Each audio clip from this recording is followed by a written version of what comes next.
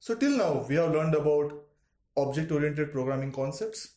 Then we learned about uh, object-oriented solid design principles. In the last video, we talked about the MVC architecture pattern. So finally, can we start coding now? No, we need to pay attention to one more thing before we can get our hands dirty in coding. That is design patterns, or rather, object oriented design patterns. Now, you would ask, what is design patterns?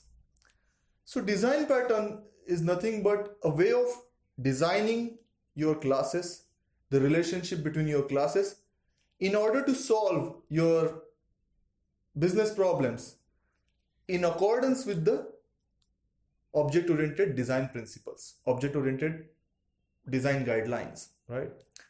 The good news is this ways of arranging objects and establishing relationship between classes. This has been already done by fellow developers.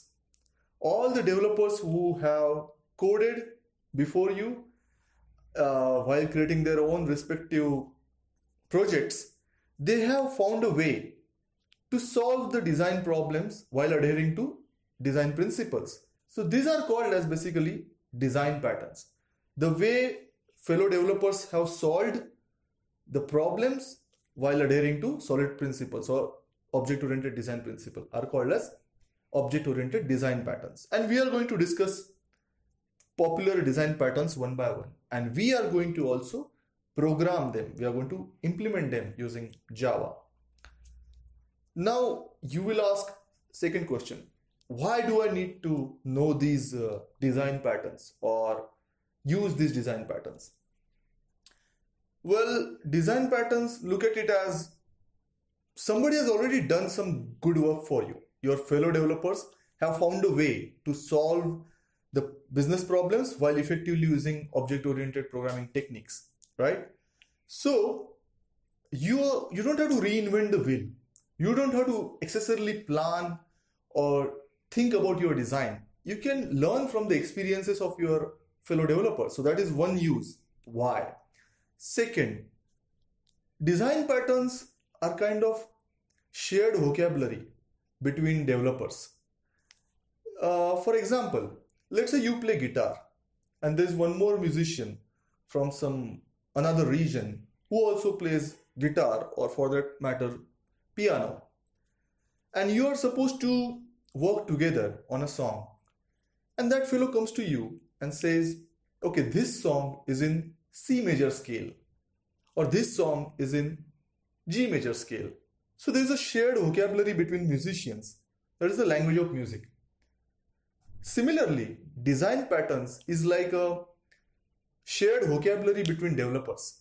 So imagine you are a fresh graduate. You go to this software product company and you have been given a task to develop a certain functionality of the application. And when you are brainstorming about how to develop that, you go to this um, you go to this fellow companion of yours, and he says, you know what, you should use builder pattern, or you know what, you should use factory pattern to solve this. So you should know design patterns. It's kind of like a shared vocabulary between good object-oriented developers, object-oriented programmers. That is one reason. Second reason, when you talk in terms of design patterns, you're thinking in the architectural level. You're thinking in the design philosophy way. You're not worried about uh, variables or uh, loops or functions or individual objects, but you are rather looking at the bigger picture, thinking already thinking about how to create good software, how to write good programs, right? So it elevates your way of thinking while you are developing your applications. If you talk and if you think in terms of design patterns rather than in terms of niche level objects and classes, it's it should be in the DNA of good programmers to always keep in mind all these design patterns while they are developing their programs, right?